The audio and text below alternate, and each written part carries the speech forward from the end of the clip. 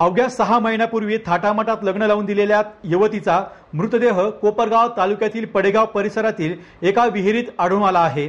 या विवाहितीने आत्महत्या केल्याने सांगितले जात असले तरी तिचा घातपात झाल्याचा आरोप मुलीच्या नातेवाईकांनी केला आहे.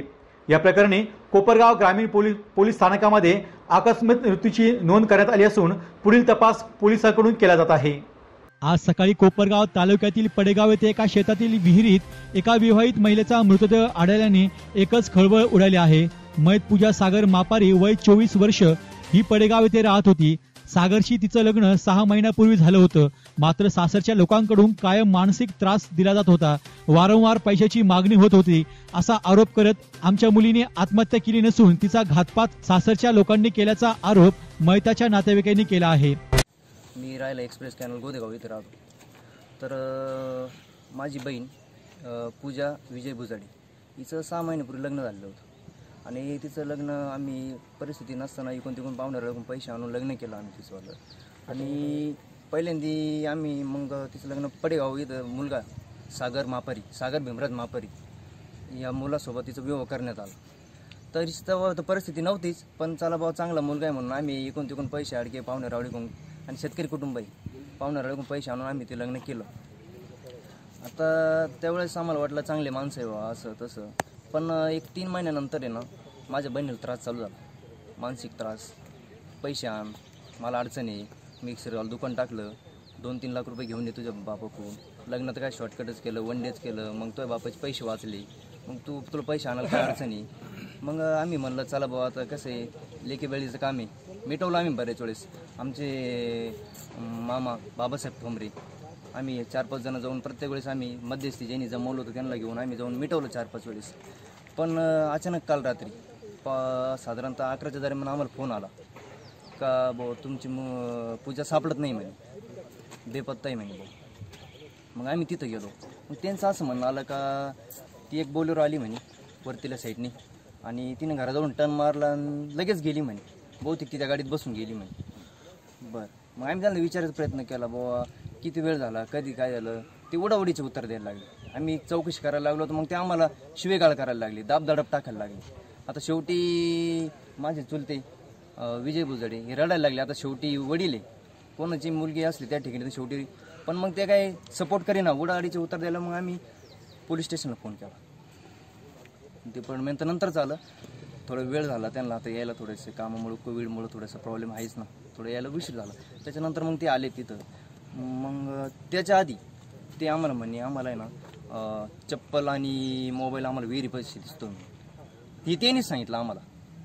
आता मग त्यांनी जर आम्हाला आधी सांगितलं एक बोलर आली तिला ती घेऊन गेली किंवा त्या गाडीत बसून गेली असं ते म्हणले. मग तुम्हाला चप्पल आणि मोबाईल विहिरी जवळच हे कसं काय माहिती? हां?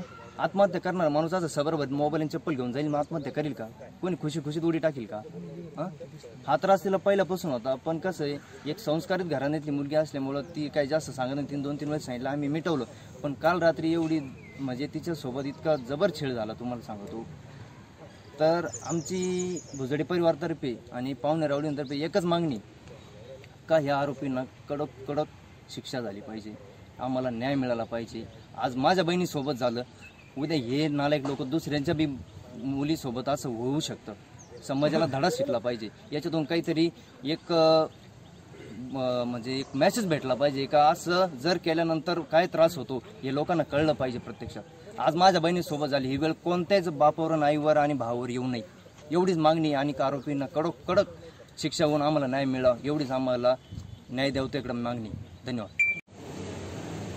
पडेगाव तालुका कोपरगाव येथील पूजा सागर मापारी व एकवीस वर्ष या मुलीचा तिचे सासरी नांदत असताना संशयास्पदरित्या विहिरीमध्ये बुडून मृत्यू झालेला आहे. या प्रसंगी तिचे वडील विजय बाळकृष्ण भुजाडे राहणार भुजाडे वस्ती गोधेगाव तालुका कोपरगाव यांनी पोलीस ठाण्यात फिर्याद दिली आहे की पूजा हिचे लग्न सुमारे पाच महिन्यापूर्वी सागर मापारी याच्यासोबत झाले असून ती सासरे नांदत असताना सागर मापारी भीमराज मापारी सासरे संगीता भीमराज मापारी सासू आणि विशाल भीमराज मापारी दीर अशांनी फर्निचरच्या दुकानासाठी दोन लाख रुपयाची मागणी केली होती ती पूर्ण न झाल्याने त्याचप्रमाणे सागर याचे विवाहबाह्य संबंध असल्याचे पूजा हि- हिला माहीत पडल्याने सागर व घरातील लोकांनी तिचा मानसिक व शारीरिक छळ सुरू केला होता. आणि त्यामुळेच हुंड्याची मागणी व शारीरिक छळ या कारणामुळेच तिचा संशयास्पद मृत्यू झालेला आहे.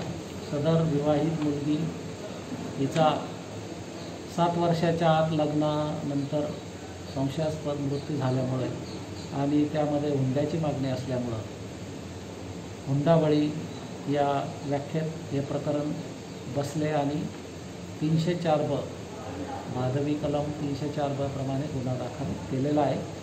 सर्वच्या सर्व आरोपी पोलिसांनी ताब्यात घेतलेले आहे. पुढील कारवाई करीत आहोत. आरोपींना अटक करून कडक शासन करण्याची मागणी मयत मुलीच्या नातेवाईकांनी केली आहे. सदर घटनेचा तपास कोपरगाव ग्रामीण पोलीस ठाण्याचे पोलीस निरीक्षक दौलतराव जाधव करीत आहे.